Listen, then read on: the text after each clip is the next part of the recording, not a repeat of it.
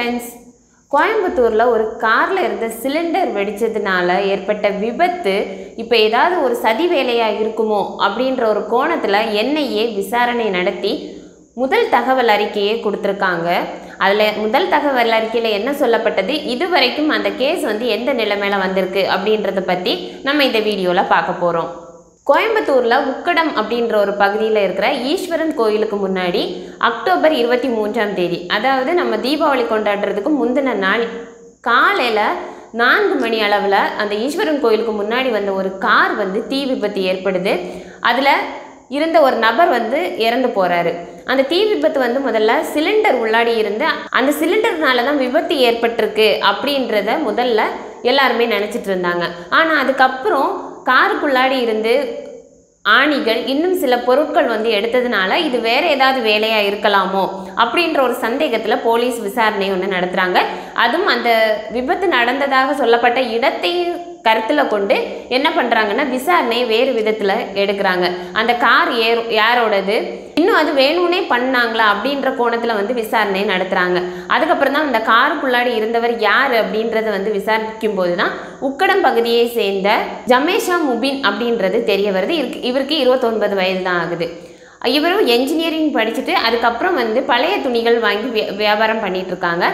சரி ஓகே இவர் எதுக்காக அந்த நேரத்தில் சிலிண்டர் தூக்கிட்டு வந்தார் அப்படின்ற கோணத்திலையும் இது வேற ஏதாவது விஷயங்களா இருக்கலாமா? அது அடுத்த நாள் பண்டிகை நாளானனால விசாரணை வேறு விதத்தில் விசாரிக்க ஆரம்பிக்கிறாங்க.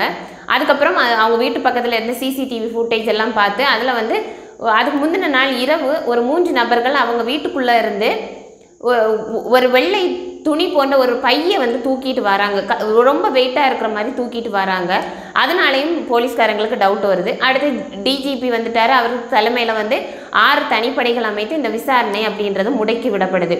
அதுக்கப்புறம் அவங்க வீட்டில் இருந்து பல பொருட்கள் வந்து கைப்பற்றப்பட்டதாகவும் சொல்லப்படுது. அதுக்கப்புறம் இந்த விசாரணை அப்படின்றது வந்து என்ஐஏக்கு போகுது. அதாவது நேஷனல் இன்வெஸ்டிகேஷன் ஏஜென்சி தேசிய புலனாய்வு அமைப்புக்கு இந்த கேஸை வந்து ட்ரான்ஸ்ஃபர் பண்ணுறாங்க அவங்க வந்து விசாரிக்க ஆரம்பிக்கிறாங்க. இது என்ன நடந்துச்சு அப்படின்னு சொல்லிட்டு. ஏதாவது நாசு வேலையாக இருக்கலாம் அப்படின்ற கோணத்தில். அவங்க வந்து முதல் முதல் தகவல் அறிக்கையை கொடுத்துருக்காங்க. இந்த சிசிடிவி ஃபுட்டேஜில் இருந்ததும் இன்னும் இந்த முபினுக்கு சம்மந்தப்பட்டவர்கள் அப்படின்னு சொல்லிட்டு ஒரு அஞ்சு பேரை முதல்ல அரெஸ்ட் பண்ணுறாங்க அது யாரெல்லாம்னா முகமது தல்கா முகமது அசாரிதீன் முகமது நவாஸ் இஸ்மாயில் அதுக்கப்புறம் முகமது ரியாஸ் அப்படின்ற ஐந்து பேரை வந்து அரெஸ்ட் பண்ணுறாங்க இவங்க எல்லாருமே முப்பது வயதுக்கு உட்பட்ட இளைஞர்கள்.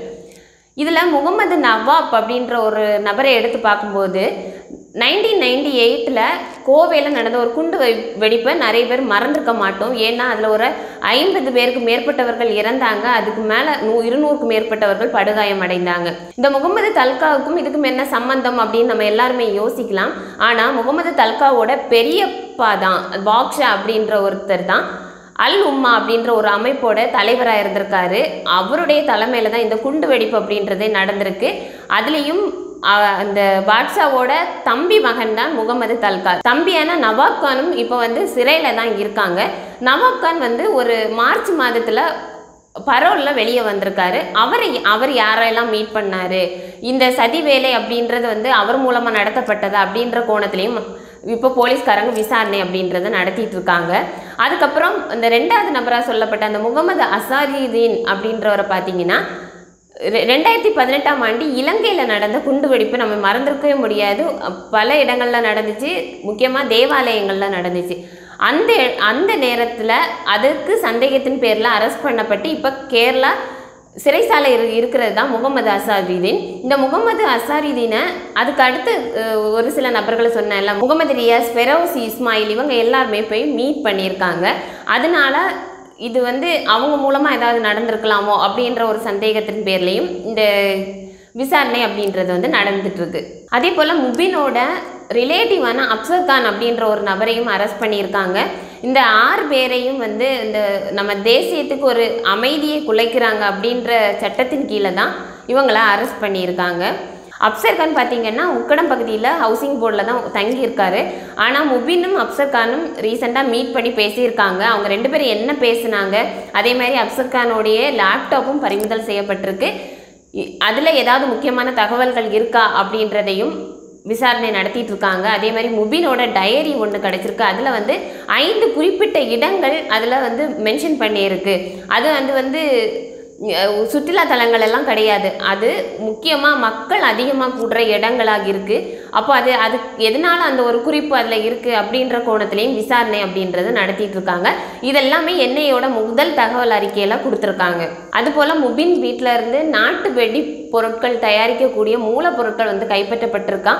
அதே மாதிரி நூற்றி ஒன்பது பு- விதமான பொருட்கள் அங்கேருந்து எடுத்திருக்கோம் அப்படின்றத வந்து போலீஸ்காரங்க தரப்பில் சொல்லப்படுது. இதில் நீங்கள் இதில் கைது செய்யப்பட்டவங்களாக இருந்தாலும் சரி இந்த இறந்த நபராக இருந்தாலும் சரி எல்லாருமே முப்பது வயதுக்கு உட்பட்ட இளைஞர்கள். இந்த விபத்து அப்படின்றது வந்து சாதாரண ஒரு விபத்தாக தான் முதல்ல பார்க்கப்பட்டது. ஆனால் இது அந்த பண்டிகை நாட்களையும் இந்த நடந்த இடத்தையும் கருத்தில் கொண்டு இது வேறு விதமான ஒரு சதி செயலாக இருக்கலாமோ அப்படின்ற ஒரு கண்ணோட்டத்தில் பார்த்ததுல இவ்வளோ விஷயங்கள் வெளியே வந்திருக்கு.